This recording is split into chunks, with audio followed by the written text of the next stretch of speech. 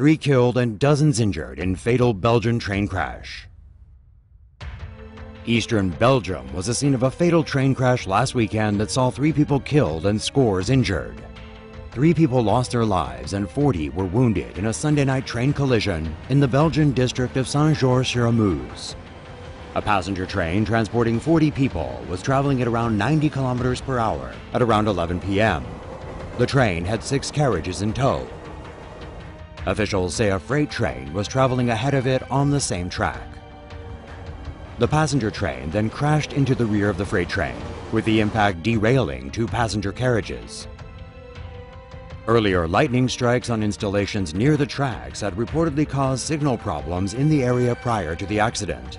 But Belgian rail operator SNCB says this was resolved.